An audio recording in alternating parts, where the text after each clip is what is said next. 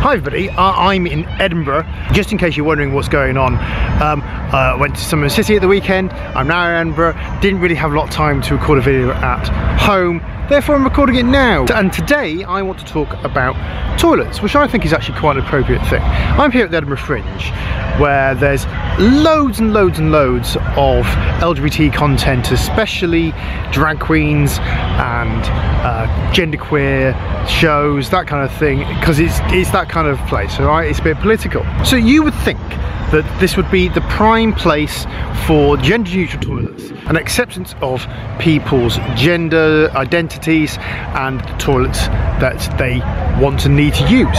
Well, I'm on a mission uh, over the next couple of days to find some gender neutral toilets in Edinburgh. I haven't seen any yet. I've been here for about five five hours or so, so uh, I'm on a mission. But I was having a conversation with some of my friends at Sitsi about gender neutral toilets, and there were there was one or two people who um, thought that this problem with uh, men just saying that they're a woman and going into women's toilets and potentially assaulting women in those toilets meant that they didn't feel safe in uh, their gender, gender segregated female toilets. And you know, I kind of get and get and understand this, but this is why gender neutral toilets are so important. Now, when I was uh, an elected officer in my students' union, uh, not me, but the community officer, who's also called Andy, instigated gender neutral toilets in the students' union. Basically, uh, we had some work done on the ground floor, and the men's toilets were knocked down, replaced with uh, some stairs, basically, and a lift shaft, which was all lovely. And then we had the uh, women's toilets, uh, which were little used really because of the location of them. Um, but we didn't have any gender neutral toilets in the building. So uh, what Andy did was um, apply to the university because it's their building uh, to make them gender neutral toilets. And there was all these plans which came in it was really weird uh, and we were like oh no all you need to do is change the signs because being women's toilets they were all cubicles anyway. You just need to change the signs to toilets. And we did this with with little fanfare. We didn't make any statements about it or anything like that. Uh, there was something that went to student council uh, in reports basically about it.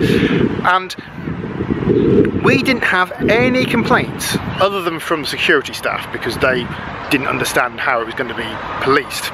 We didn't have any problems from the students at all.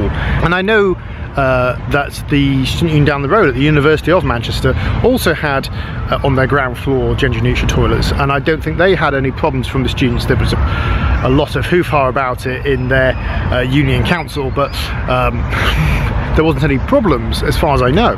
But the argument kind of goes that uh, if men can just assign themselves as a female and go into women's toilets then they can assault people. Well there's a couple of things here security guards don't stand outside of toilets usually certainly not outside a licensed premises. So any idea that security are going to stop men going into women's toilets is hilarious. It's a convention that men don't go into women's toilets, you know. So if a man was intent in going into women's toilets and assaulting women, then it wouldn't matter if they can identify as women or not. That's not the reason why they might, you know, that's not an excuse and it certainly isn't a reason.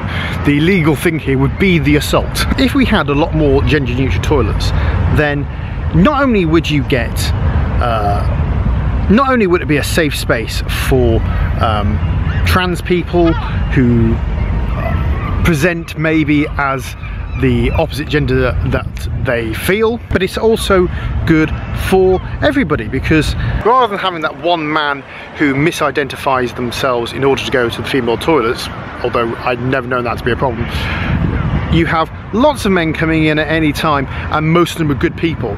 So that if you did have an assault in there probably somebody would come in and stop it. So if I find any toilets I would have I will have cut them into the footage that are coming in here. But if I didn't, then there won't be any. But that is a surprise, especially for the Edinburgh Fringe.